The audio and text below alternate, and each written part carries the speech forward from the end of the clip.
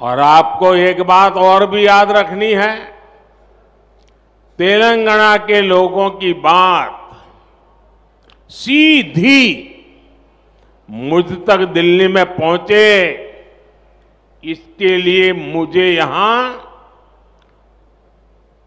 सभी सांसद जीत करके आए तो बहुत बड़ी मदद मिल जाएगी ताकि मैं आपकी अच्छी सेवा कर सकूँ।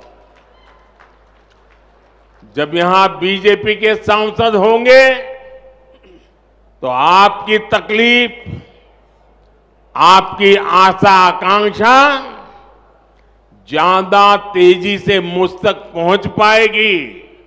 और मैं आपको विश्वास दिलाता हूँ। कि आपकी हर अपेक्षा पूरी करने के लिए मैं दिन रात एक कर दूंगा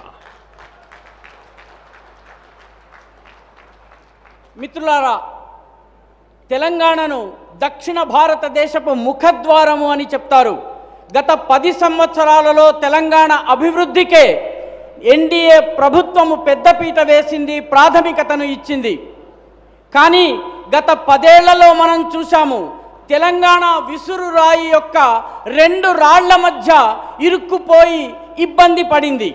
ఒక రాయి విసురు రాయి యొక్క ఒక రాయి కాంగ్రెస్ పార్టీ రెండవ రాయి బీఆర్ఎస్.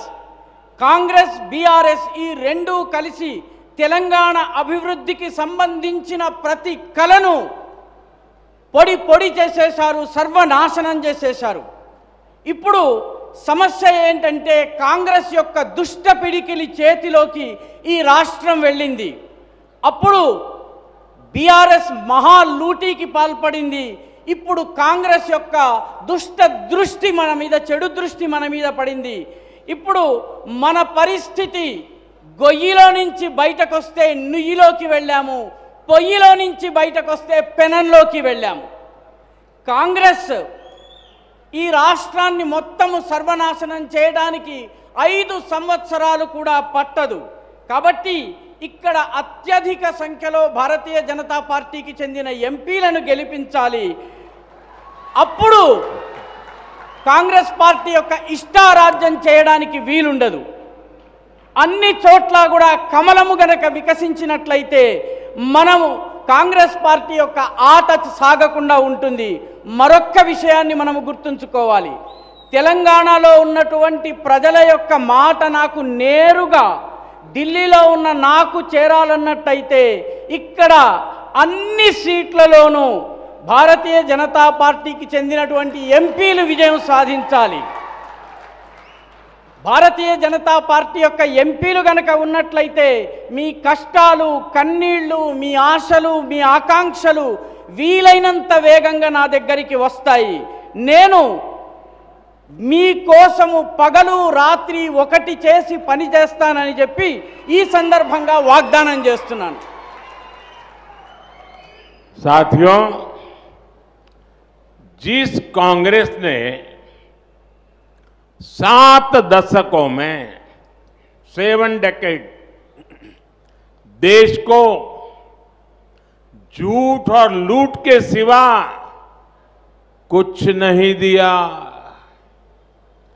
वो तेलंगाना का विकास कभी भी नहीं कर सकती। आप मुझे बताइए, कांग्रेस ने दशकों तक देश में गरीबी हटाओ का नारा दिया। लेकिन गरीब के जीवन में कोई बदलाव आया क्या? कांग्रेस ने एससी, एसटी, ओबीसी को वोट बैंक के तौर पर इस्तेमाल किया। लेकिन इस समाज के हालात सुधरे क्या? बदलाव तब आया जब देश ने मोदी को पूर्ण बहुमत का आशीर्वाद दिया और मोदी को आपकी सेवा करने का मौका दिया।